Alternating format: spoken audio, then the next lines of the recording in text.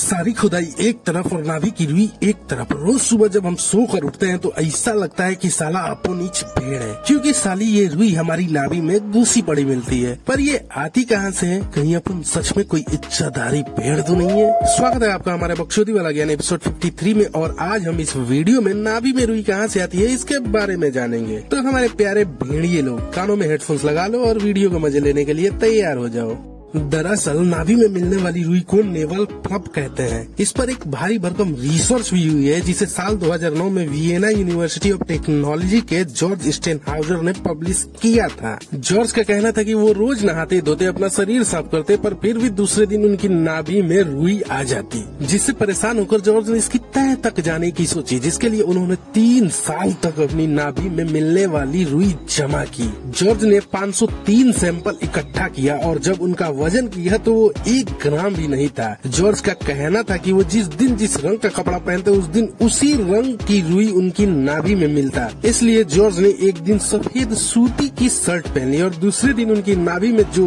रुई मिली, उसका chemical test किया। तो पता चला कि उन्होंने जो शर्ट पहनी थी, उसका फैब्रिक और जो रुई उनकी नाभि में मिला है, वो दोनों एक ही था। लेकिन नाभि में जो रुई मिला था, उसमें धूल, डेड सेल्स और पसीना भी पाया गया, जिससे यह निष्कर्ष निष्कर्ष निकला कि जिसके नाभि में रुई बनती है, उसकी नाभि बाकियों के मुकाबले ज़्यादा साफ़ होती है। तो अब समझ में आया, नाभि में रुई हमारे पेट के बालों की वजह से बनती है। पेट और सीने पे जो बाल होते हैं, वो कपड़ों से निकलने वाले रेशों को लगातार नाभि की तरफ़ धकेलते हैं, जिससे वो रेसे नाभि के अंदर जमा होकर रुई का शक्ल ले लेते हैं। अब कितने लोगों के नाभि के अंदर रुई बनती है, नीचे कमेंट बॉक्स में बताओ। और वीडियो पसंद आया ना तो वीडियो को लाइक ठुक के अपने दोस्तों में शेयर करो और पुण्य के भागी बनो। और यूट्यूब की दुनिया में गोते खाते हुए हमारे चैनल पर पहली बार आए हो तो वो जो लाल वाला सब्सक्राइब बटन है, उसे फोड़ के बगल वाली घंटी दबा लो। तो मिलते हैं अगले वीडियो में, तब तक इस चैनल पर बहुत माल पड़ा है, जाओ जाके मज़े करो।